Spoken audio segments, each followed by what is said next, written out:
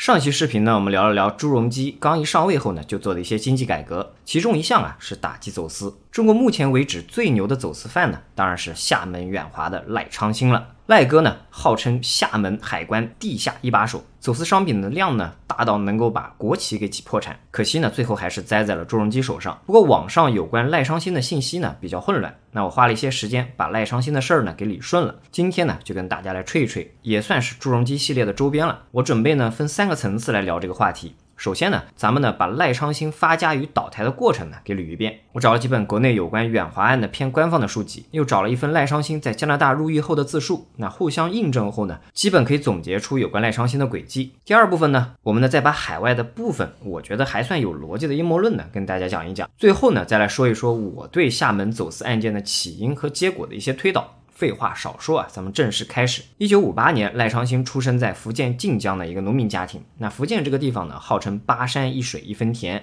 在农业社会呢，这种情况啊，翻译一下就是穷山恶水，只有百分之十的田嘛，那粮食肯定就没有保证。粮食呢，不要说在古代了，就算是在毛泽东时期，都是非常金贵的。沿海省份里呢，福建的地理条件肯定是最差的，那比浙江都差啊。浙江呢还是有两分田的，叫七山一水两分田。那福建这个地方呢，还有一个不一样的地方，那它啊在台湾的对面。新中国成立后呢，一直就没有放弃收复台湾。那合统台湾当然是最好了，但是万一要武力收复台湾了，台湾就算再弱鸡啊，往福建放两炮的能力呢还是有的嘛。那因为有可能成为废墟，所以中国在很长一段时间里，相比于其他沿海省份，对福建经济发展的投入呢就少了点儿。在这样一个背景下，作为农民出身的赖昌星，从小呢就是个穷逼。赖昌星呢小学都没有毕业啊，就开始混了。那先是在家里种田卖菜，然后呢跟哥哥去部队挖了一年井。那水井挖完后呢，赖昌星回家待了一段时间。这之后啊，他又去泉州挖了一段时间的防空洞。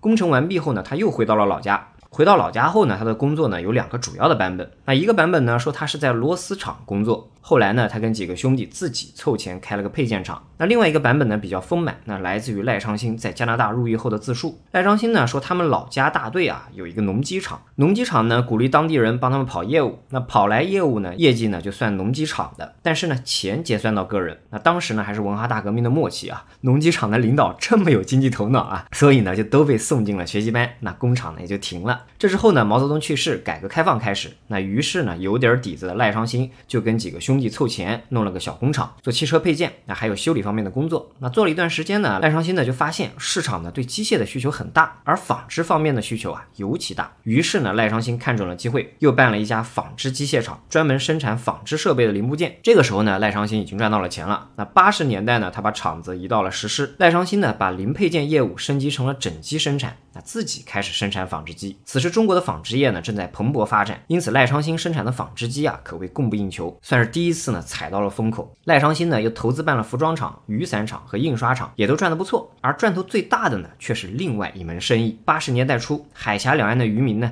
已经先于官方开始了交流，渔民们啊坐在一起探讨了下两岸市场的供需，很快呢就开始了非官方的物品交流，就是走私啊。台湾的货物呢从金门出发。来到福建的小港口派货，那其中就包括石狮港。赖昌星此时呢，在石狮已经有了一定的势力。那作为地头蛇的他呢，会筹集黄金和白银与台湾渔民进行交割。在拿到货后呢，又会把到手的手表、计算器、录音机等紧俏的商品分销给全国各地来拿货的商人。这个呢是属于纯黑色的收入啊，跟海关呢还打不到什么交道。他呢也有稍微灰色点儿的。那一个呢，就是在服装厂进的布料里啊。混点电视机什么的，另外呢，就是当时中国流行的替海外国家做来料加工。前面朱镕基刚到上海的那些讲过啊，朱镕基呢是带着外汇去上海的，那解决了上海纺织业原料不够的问题。那当时中国的棉纱呢是不够纺织厂用的，而外国呢又需要中国廉价的纺织品，于是呢就有了外国提供原料送到中国，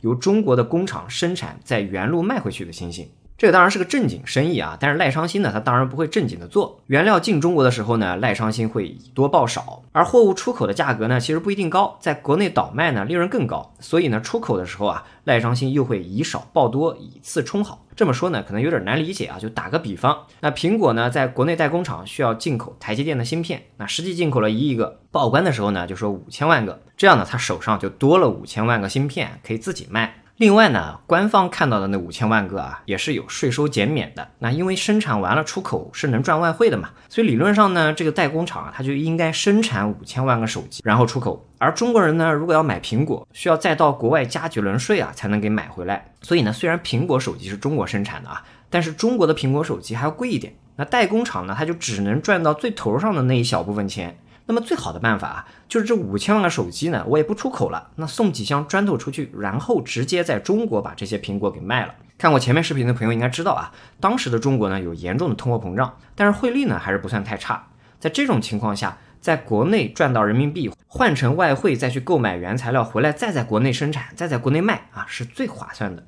那这个呢，就是赖昌星初期发家的真正秘诀。八十年代末呢，赖昌星的生意又有了突破性的进展。台湾开放了老兵大陆探亲，大陆呢也展开双臂欢迎台湾人进入大陆投资。那尤其是在六四后，中国被西方制裁，中国呢非常重视来自台湾的资金，这个使得八十年代末九十年代初，大量的台湾人来到大陆投资和消费。而台湾人里呢，闽南人占了很大一部分。那因此，很多台湾人进入大陆的第一站呢就是福建。那一方面呢，这给福建带来了更多的热钱，钱越多，赚钱呢也越容易。那另外一方面呢，两岸交流容易了，走私呢也就更加猖獗了。那很多台商在福建投资，其实呢就是在走私，哪怕不走私啊，起码的偷税漏税呢还是有一些的。因为当时两岸的生产力呢差太多了，那最容易赚的呢就是这个钱。台湾的新闻里面常说呀，中国随便抓台商什么的，其实呢就是因为台湾对偷税漏税管得很松，大陆管得很严的原因。在这个阶段呢，赖昌星的身价已经达到了千万级别，也认识了不少海内外的商人。那其中呢，就包括姚志胜。那姚志胜呢，也是一个走私界的大佬。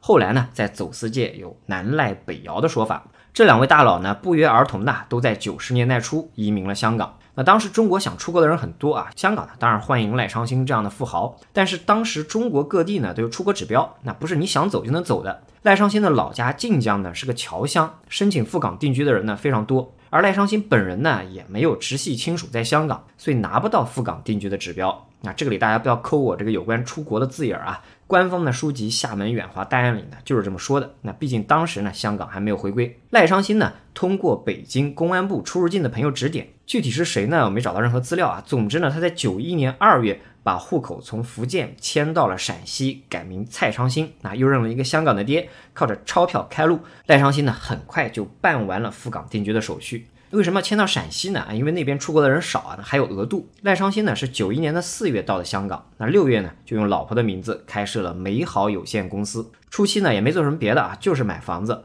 九一年到九二年之间呢，亚洲经历了一波小的金融风暴，所以房价呢非常便宜，首付也低，百分之十就够了。赖昌星呢大笔买入房地产后呢，没多久啊，房价就开始暴涨。那据他自己说，他到九三年时呢，在香港的房地产上就已经赚到了两到三个亿了。赖昌星呢虽然在香港赚到了钱，但是呢还是想要在大陆发展。一九九二年呢，赖昌星其实就回到了厦门，开始通过美好公司从事进出口贸易。那其实呢就是走私啊。但是此时的规模呢还非常小。那九二年上半年呢，一共只有四五千万的营业额，属于前期探探路，可能呢也跟公司股东的利益冲突有关。那虽然说公司是赖昌星开的啊，但是还是有其他几个合伙人，具体原因不明啊。不过大概率呢还是分配问题啊，导致公司散伙。那福建人迷信，那赖家呢就觉得“美好”这个词儿啊，这么一搞就有点晦气了。于是赖昌星的老婆曾美好呢就改名曾明娜。那这个吹点呢，大家可以背一背啊，大多数人应该不知道。一九九三年初，赖昌星参加了泉州同乡会聚会。那在聚会上呢，赖昌星认识了一位泉州籍的高官。那这位高官呢，向他透露了军队和国家急需大量的电脑。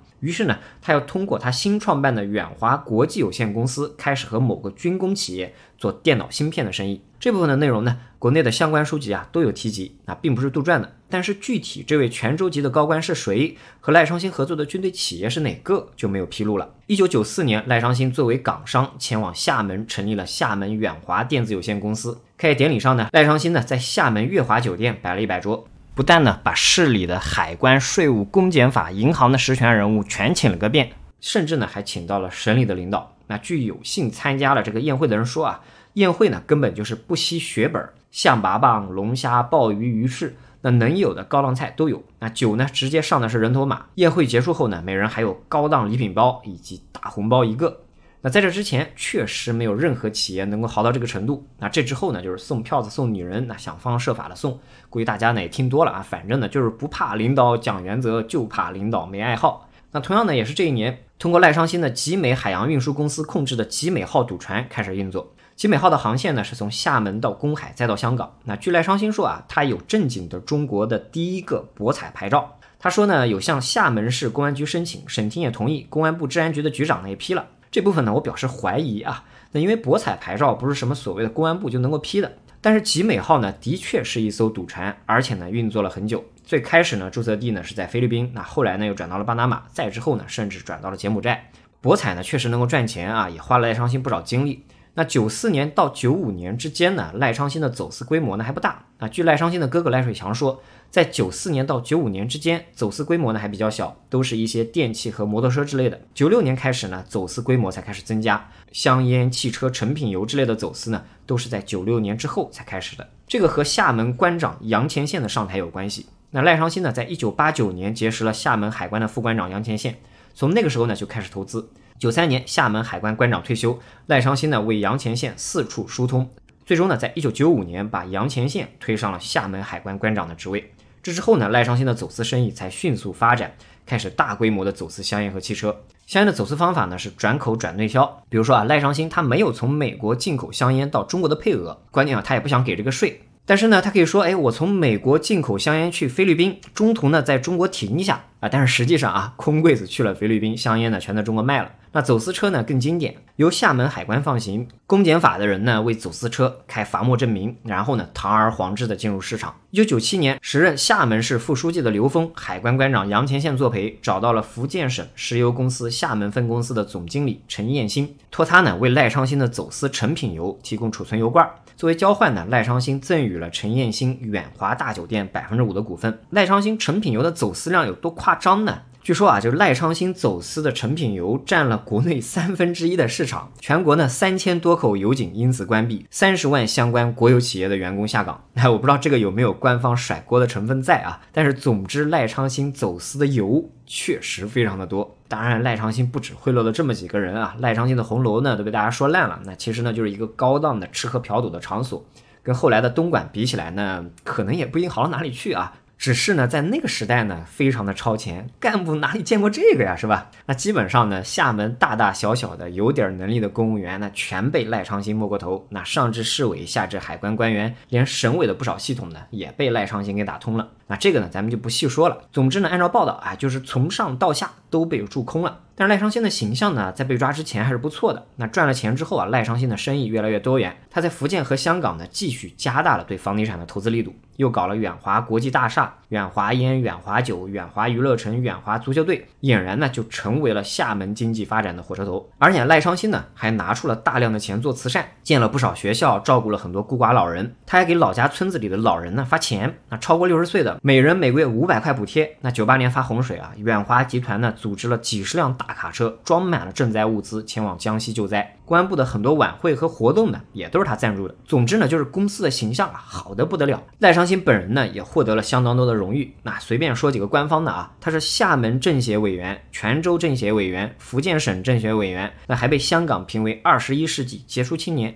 由特首董建华和新华社驻香港分社社长周南共同颁发的奖状。那么赖昌星是怎么倒台的呢？一九九九年的四月十五日，那一封长达七十四页的举报信呢，被发到了海关总署。那其中呢，详细阐述了赖昌星走私的各种细节，而且啊，列举了赖昌星走私关系网里的二十多个人。那其中呢，有十六位厅局级干部。那这件事情呢，引起了朱镕基的关注。在四月二十日晚上的政治局扩大会议上呢，痛斥了远华公司的走私行为，表示要彻查。江泽民呢，也在会议上表示，那我就是朱镕基的后台，这个案子呢，要一查到底。最终呢，一致通过，由朱镕基、魏建行以及胡锦涛三位常委，罗干、曾庆红、吴仪三位政治局委员负责查处此案。一个有意思的细节，大家注意一下啊，这个案子呢还被分成了两个项目组，军方一个，地方一个。会议呢是四月二十日召开的，因此调查组呢就被称为四二零调查组。但是呢，一直到六月二十日，中央的调查组呢才抵达福建。那因为时间拖得太久，当调查组抵达福建时呢，发现远华的几乎所有的进出口文件啊都非常的规范。而远华的七十多个核心人员呢，也早在调查组到达前呢，就已经离开了大陆，包括赖尚新。鉴于远华的海关的文件十分的规范，那各种相关的单据呢，也已经被销毁。调查组呢，就只能在口岸里找单据，然后呢进行计算。那这部分到底是怎么算的呢？我不清楚啊。总之，调查组呢就得出了赖昌星走私了五百三十亿的结论。一个多月后的八月八日，江泽民呢在中南海紫光阁召开了有关远华案的专项政治局常委扩大会议。那这个是中华人民共和国建国以来第一次呢就单一刑事案件召开政治局常委扩大会议。那会议呢做出了三个决定：那立即拘捕赖昌星，将厦门市委书记石兆斌调离厦门，升任福建省省委书记，将总参情报部副部长基德胜少将调离该职位，由熊光凯接任。有意思的是呢，八月八日中央下令抓捕。八月九日呢，赖昌星居然还从香港带着现金潜入厦门，给远华的员工啊发了波工资。那专案组呢发现了赖昌星的行踪，于是呢以公安部部长贾春旺的名义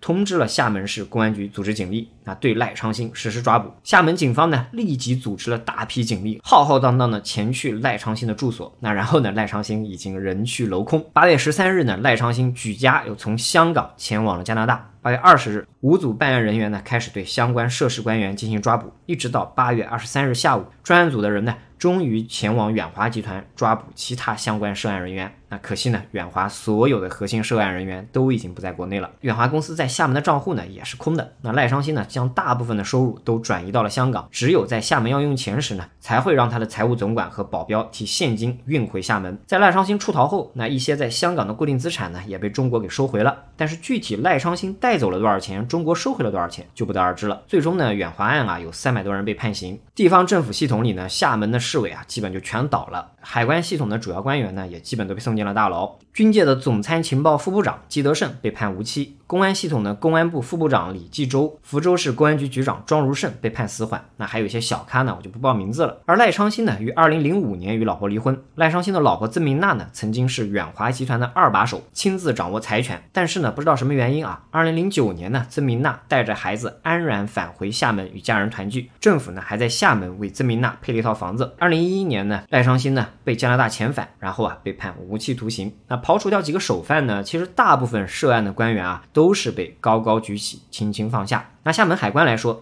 涉案人员呢三百零三人，占到了整个海关全部工作人员的百分之二十三。然而呢，最后真正给予刑事处罚的不到六十人。多数犯案人员呢，在上交赃款并且承认错误后啊，没有受到什么刑事处罚。赖昌星还有他的远华案呢，大概就是这样。国内的所有的新闻报道啊，基本上呢也就到这个程度。而且呢，很多报道啊，时间线都很混乱，细节呢有很多谬误啊。主要精力呢都是集中在这个讲赖昌星的红楼啊，讲这个相关官员的贪腐啊，还有杨一云之类的。而且呢，在很多的重要细节上啊，都是欲言又止或者干脆不提。那比如说，到底是谁举报了远华？那这个举报人为什么有远华这么多的黑料？那比如说赖昌星到底和军方有什么关系？为什么有军队高层也会被拉下马？为什么整个厦门的相关官员都有贪腐，但是厦门以外的其他福建省官员都没什么问题呢？到底是赖昌星太坏了，还是厦门人不行？那如果是赖昌星比较坏啊，那么中国其他地区就没有赖昌星这样的坏人吗？咱们聊几个海外的啊，有关赖昌星的采访。那首先。谁举报了赖昌星呢？那去掉赖昌星阐述中的各种情绪性的内容啊，其实呢，他就是被合作伙伴给告了。那这个人呢，名叫朱牛牛，后来改名朱安利。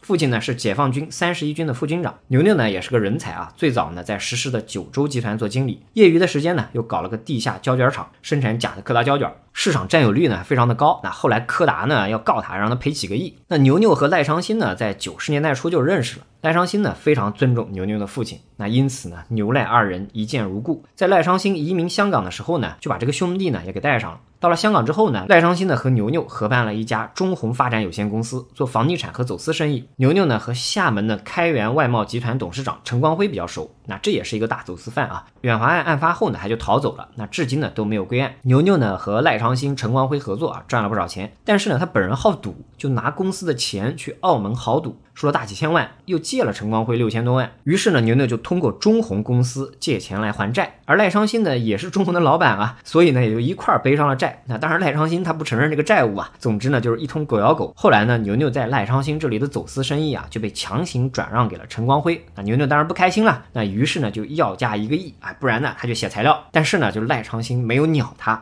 那这个呢，就是为什么赖昌星被举报的原因。而赖昌星和军方是什么关系呢？据赖昌星说啊，他是在一九九六年的五六月份拿到了国安局的工作证，那挂在了国安部新疆反分裂厅。他还有一张国安发的军用的特别通行证。赖昌星说呢，他是在九一年开始给部队做事的，而且呢是福建军区的情报部门呢主动联系的他。那这个后面的事情呢，就有点传奇了啊，大家听一听就好。赖昌星在香港时呢，认识了一些在港的台湾人，其中一个姓蔡的台湾人呢，是为台湾情报部门工作的。那这个人呢，老家和赖昌星一样，也是晋江的。而当时台湾的警备总司令啊，叫陈守山。恰巧呢，也是晋江人。陈守山呢去香港玩的时候啊，就找到姓蔡的招待。姓蔡的呢，就又找到了赖昌星，问他借车。那赖昌星呢，因此也就一起陪着陈守山玩上了。那福建这边的分军区啊，非常重视这件事情。那报告呢，就一路从福建军区打到了南京军区。这在这之后呢，赖昌星就开始为军情部门搜集有关台湾的情报。按赖昌星的说法啊。他甚至呢还为在台湾的十六个特工发工资，那具体是什么人干什么的呢？他没说到。一九九五年的时候呢，他才认识了当时的解放军总参谋部二部部长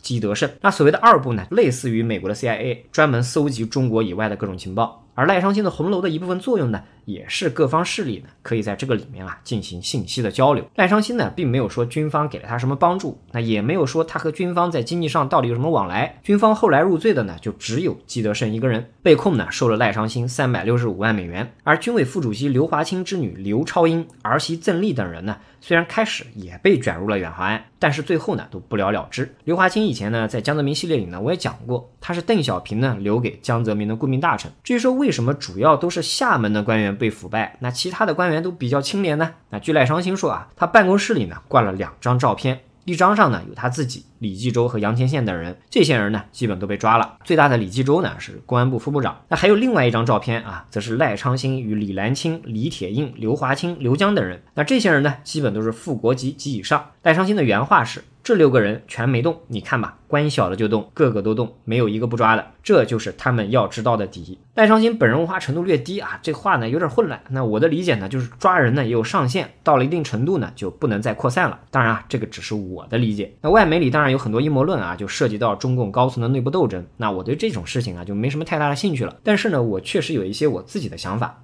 咱们呢不针对个人，只谈谈当时大趋势的变化。首先，赖昌星的涉军问题，那我认为呢是存在的，也是可以理解的。一九八五年呢，为了节省军费开支，邓小平呢就允许军队经商。那么军队一般做什么生意呢？那除了酒店、军工企业外，做的最多的呢，就是陆路运输和航运相关的。那因为车辆船只啊都是现成的，那技术含量又不高，那只需要政策到位就行了。而说到运输啊，那最赚钱的就是走私了。那中国并没有什么新闻爆出军队有大规模的走私情况。那这里我要强调下，但是呢，如果我是军队领导。放开了经商，我大概率会做啊。举个最近的例子，那蔡英文出去访问回来的时候呢，飞机上呢带了一万条走私烟，那一家人不说两家话啊，台湾人就是中国人是吧？台湾的公安人员敢做，那大陆军方没道理怂啊。但是江泽民上台后。就命令胡锦涛开始禁止军队经商。那九三年的时候呢，还只是开了个头儿。那九五年之后就比较认真了。到了九八年的时候呢，朱镕基开始大规模的打击走私，发现军方呢确实存在走私问题，只是具体的情况呢我们不得而知。江泽民呢在全军打击走私工作会议上呢给出了明确的结论：解放军呢要在一九九九年一月一日前停止一切经商活动。所以赖昌星走私背后存在军方的支持是有可能的。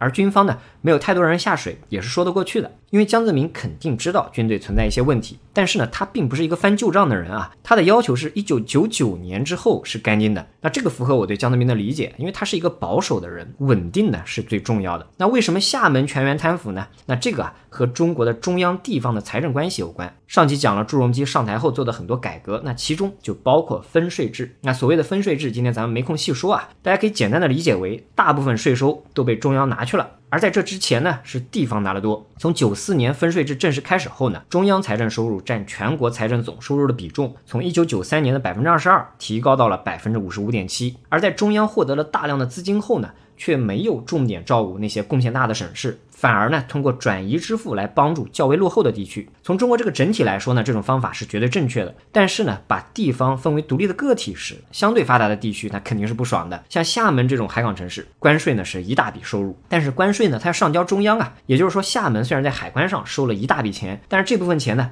根本到不了自己的口袋，所以厦门地方政府有没有打击走私的动力呢？我想啊是没有的，不但没有，甚至还要鼓励。那因为赖昌星们会把赚到的钱呢分到当地官员的手上，会在当地做投资，拉动 GDP，提高官员的政绩。大家看啊。赖昌星在一九九四年到一九九九年之间垄断了整个福建的塑料产品市场，走私的石油制品呢占全国的三分之一，这个体量已经不能称之为走私了。这个呢绝对需要地方政府的支持。那除了厦门，别的地方就不走私了吗？当然不，福建的大小港口都在走私，浙江的港口、江苏的港口、上海的港口也都在走私。就像我前面说的，姚志胜，他的走私量不比赖昌星少，钱呢全套现了，人呢也安全出逃了，只是赖昌星呢被抓了个典型，俗称呢杀鸡给猴看。远华案最后算出来的结果啊，是赖昌星五年偷税三百亿，平均呢一年六十亿，而一九九八年整个海关的税收是八百七十九亿，一九九九年拿赖昌星开刀后，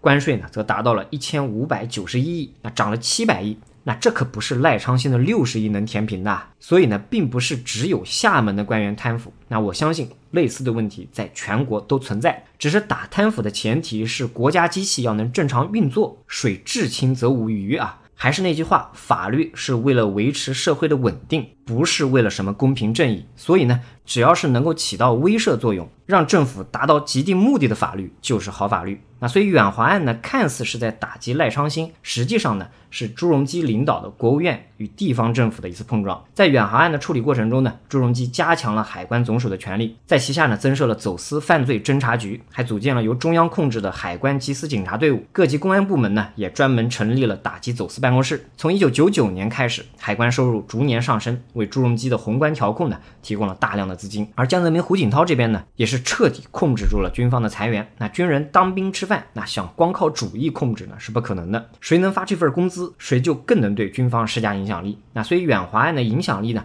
其实超过很多人的想象啊。不得不说，赖昌星作为鸡呢，对中国的经济现代化做出了不可磨灭的贡献。